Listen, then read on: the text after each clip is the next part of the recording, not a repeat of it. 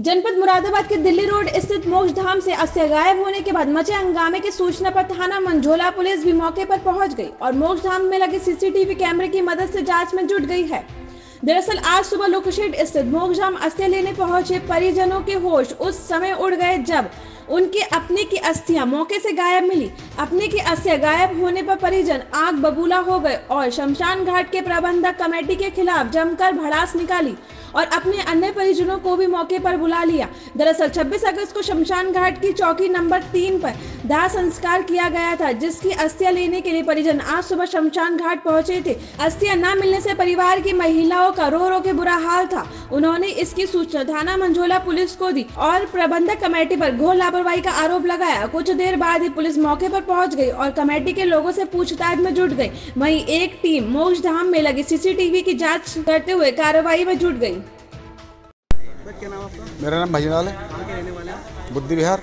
क्या मामला हुआ है हम 25 तारीख में अंत्योष्टि करने के लिए आए। थे लेडी थी मेरी सास थी। अब 27 में हम आते हैं अस्थियाँ लेने के लिए। हमें अस्थियाँ दे दी गई। अब ये आ रहा है कि हम गलत ले गए। ये लोग कह रहे हैं जो दूसरे वाले हैं कि हम 26 में यहाँ पे अंत्योष्टि करके गए अच्छा आपको अस्थियाँ किसने दी थी? हैं? वो सामने बैठे हैं। इन, इनको हाँ यहीं के कर्मचारी हाँ, हैं। यहीं के कर्मचारी हैं। हमने इनको स्लिप दिखाई है तीन नंबर की। तो मतलब आप किसकी हैं? जेंट्स की हैं? गई है। जिस हिसाब जिस हिसाब से बता रहे हैं वो तो जेंट्स की हैं। लेकिन हमें तो बताया कि हमारी ही अस्थियाँ हैं। हम उनको लेकर ब्रजघाट चले गए। उनका विसर्जन करिए। हैं?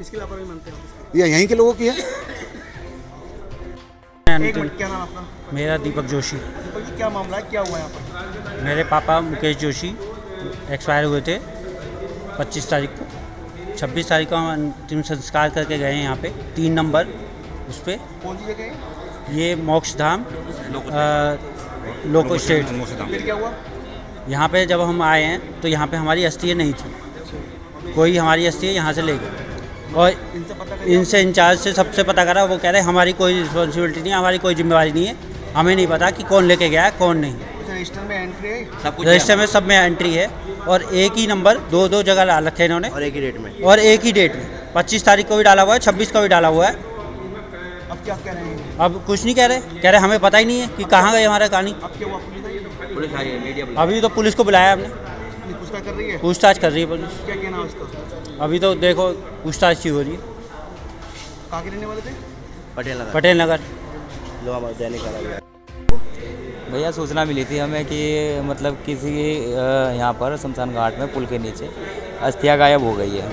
तो हमें सौ नंबर पर सूचना मिली हम यहाँ आए हमने आला अधिकारियों को सूचित कर दिया है। वो मौके पर आने वाले हैं। आपने इनसे पूछताछ करी क्या कह रहे हैं इनके? ये कह रहे हैं कि हमें पता नहीं है जो हमारा गार्ड है उसे पता है वो पर्ची लेके और यहाँ से उठवा देता है।